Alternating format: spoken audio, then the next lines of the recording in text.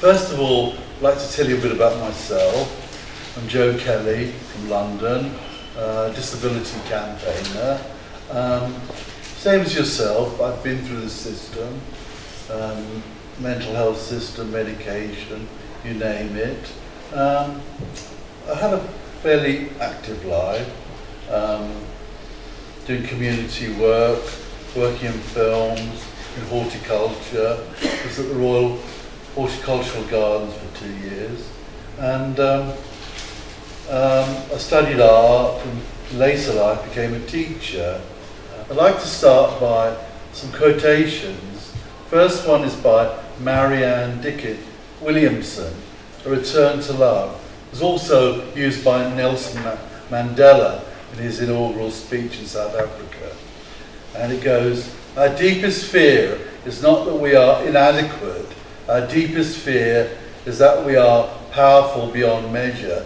It is our light, not our darkness, that most frightens us. We ask ourselves, who am I to be brilliant, gorgeous, talented, fabulous? Actually, who are we not to be? You are a child of God. Your pleasing, your playing small does not serve the world. There is nothing enlightened about shrinking so that other people won't feel insecure around you. You were meant to shine as children do. We were born to make manifest the glory of God that is within us.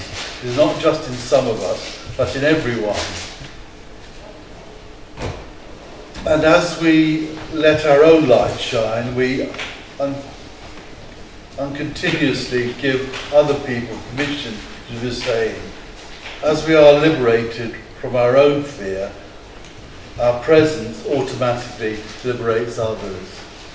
Um, uh, the second quote is uh, from the Bible, Proverbs 29:18, "Where there is no vision, the people perish." So I'm proposing a new vision of disability, not just mental health, but other, all the disabilities.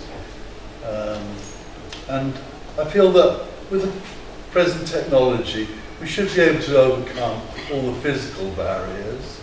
And with humane treatments, I feel that the mental health problems can be overcome.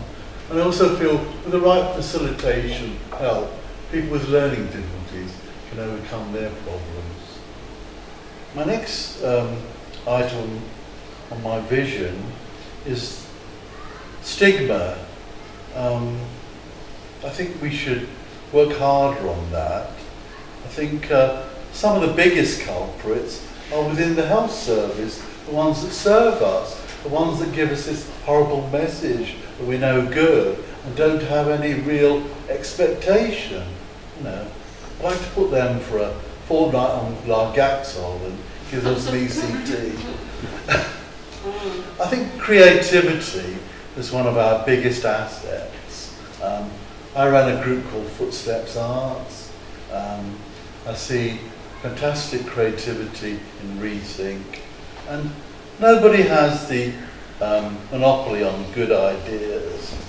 Um, we need to really boldly go where none have gone before. So one of my thoughts about this new, uh, this new vision is that we should set the agenda more not responding to the dictates of others, um, proactive instead of reactive.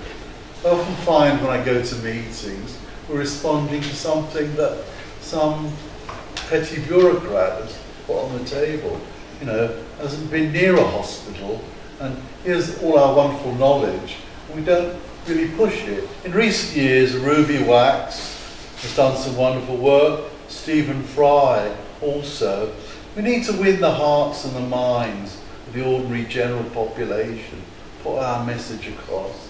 Very heartened to see today, we've got a camera here so that this event can be recorded. Hopefully go out to tell people what we're all about. I've got some goals that I'm working towards. Um, developing a think tank on Skype. If people are interested in that, they let me know. And also on the blog on Disability Arts Online, there's an opportunity for people to send me messages and uh, um, give me details. Um, I'm working towards a summit conference in 2013, working with people who are backing me and sponsoring me. Thank you very much for listening to me. Uh,